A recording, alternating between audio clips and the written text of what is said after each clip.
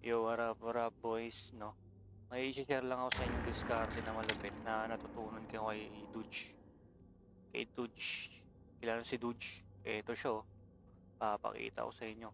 Panoorin nyo na lang yung video niya. Yan, ayan si Dudge. Love trip din yan minsan eh. Yun nga. Bali, ang mangyayari, no? Tuturo ko sa inyo yung cycle. Kasi minsan, talagang mag ang itatarget mag-craft talaga. No, magka-craft ka niyan. Pero nakikita mo to. Kailangan mo ng 15 papyrus sa isang rare. Pero kung i-observe mo yung market, makikita mo dito tayo sa exchange.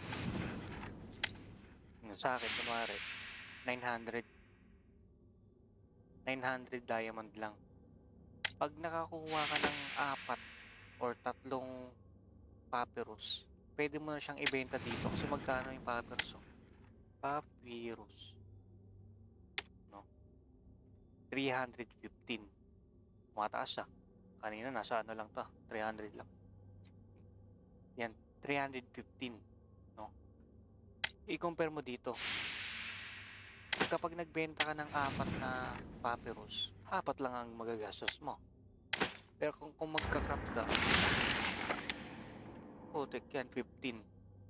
Pero, kanyari, ito, ganito ang mangyayari dyan.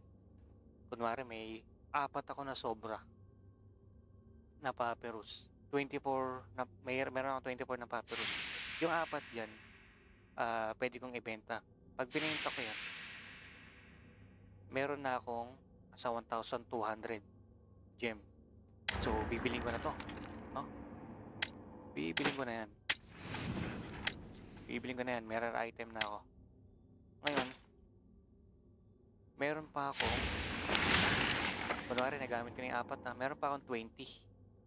Ngayon, pag nakompleto ko ng tong iron, iron ore, tapos tsaka tong morion, crop ko na yan agad eh. Basically, dalawa na agad yung ano mo, rare item mo. So, mapapa mapapabilis ka talaga. Kaysa mag ganito ka, ah mag-farm ka ng malupit, o mag-grade ka ng malupit, 10 hours per day, putik yan, tapos kukunin mo lang isang isang ano, isang papyrus, tapos isang morion. Animal dong. Ang tagal mo dyan dong. Talagang hindi ka abuti ka ng siyam-siyam talaga. Tirik na yung mata mo, wala ka pa rin nakakrap. wala ganun lang yung cycle. Benta ng papyrus. Bili ng item sa exchange. Tapos may extra ka pang papyrus na bounded. Ayun yung gamitin mo. Pang crop. Pang second mo na ano. Pang second na... Ganun ka simple boy. Ang galing mo talaga, Dutch. Ang lupit mo. Sige na, baka boy.